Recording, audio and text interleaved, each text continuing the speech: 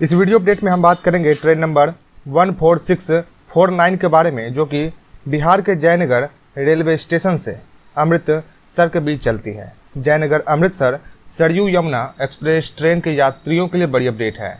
आगामी 10 मई तक इस ट्रेन के रूट को डाइवर्ट कर दिया गया है और इस वीडियो अपडेट के माध्यम से हम इस ट्रेन के नए रूट की जानकारी देंगे। तो चलिए शुरू करते हैं आज का यह लेटेस्ट वीडियो अपडेट। उससे पहले हमारे इस चैनल को नहीं किए हैं सब्सक्राइब तो कर लें सब्सक्राइब।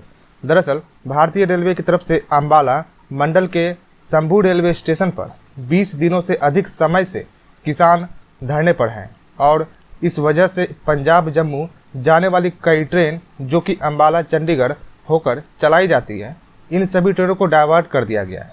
कुल मिलाकर चौंतीस ट्रेनों के रूट को डाइवर्ट 10 मई तक किया गया है। ऐसे में आंदोलन के चलते रूट डाइवर्जन से।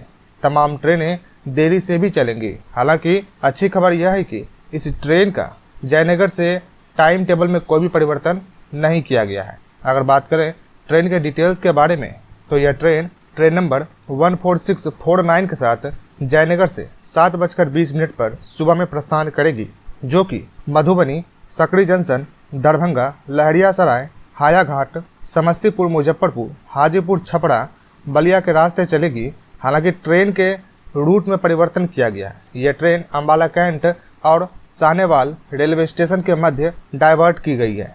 जानकारी के अनुसार बताया गया कि यह ट्रेन अम्बाला आने के बाद चंडीगढ़ न्यू मोराडी के रास्ते सरहिंद होते हुए चलेगी, जिसमें कि इस ट्रेन के रूट को बदल दिया गया है। हालाँकि केवल 10 मई तक इस ट्रेन के रूट को डाइवर्ट किया गया जो कि एक बड़ी अपडेट है। 10 मई के बाद यह ट्रेन पहले की तरह निर्धारित रूट से ही चलेगी। यह वीडियो कैसा लगा कमेंट बॉक्स में बताएँ और अन्य अपडेट के लिए हमारे इस चैनल को अभी सब्सक्राइब करें।